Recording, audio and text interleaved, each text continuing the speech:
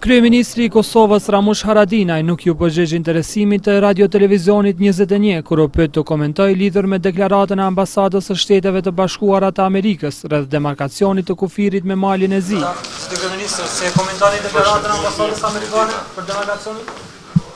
Megjithatë, mediat mbetën pa përgjigje për këtë çështje pasi përfundoi mbledhja e Qeverisë, për shkak se gazetarët nuk u lejuan të dalin nga salla e konferencave derisa u larguan nga salla e mbledhjeve të Qeverisë kryeministri me ministra. Qeveria Haradinaj vendosi që për reagimet e ambasadës amerikane të komunikojë me gazetarët përmes postës elektronike. I kuptojmë shqetësimet e partnerëve ndërkombëtarë për këtë çështje dhe njëkohësisht konsiderojmë se adresimi i çështjes së demarkacionit prej nisjes së punës së qeverisë Haradinaj është bërë me qëllim të zgjidhjes së kësaj çështjeje. Komisioni për shënjimin dhe mirëmbajtjen e kufirit shtetëror pritet që së shpejti të prezantojë një raport me gjetjet e tij dhe i njëjti pasi të vlerësohet e analizohet do të procedohet më tutje për ta përmbyllur procesin.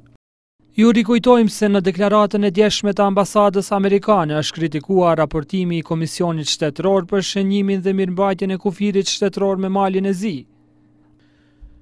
Marrëveshja ekzistuese pasqyron një proces të saktë të përcaktimit të kufirit, të konfirmuar nga Komisioni Shtetëror i Kosovës dhe ekspertë të shumtë të njohur ndërkombëtarisht, Në vitin dy mijë e pesëmbëdhjetë, Departamenti i Shtetit konfirmoi se marrëveshja origjinale saktësisht pasqyronte vijën kufitare që ka ekzistuar mes Kosovës dhe Malit të Zi që nga viti një mijë e nëntëqind e shtatëdhjetë e katër.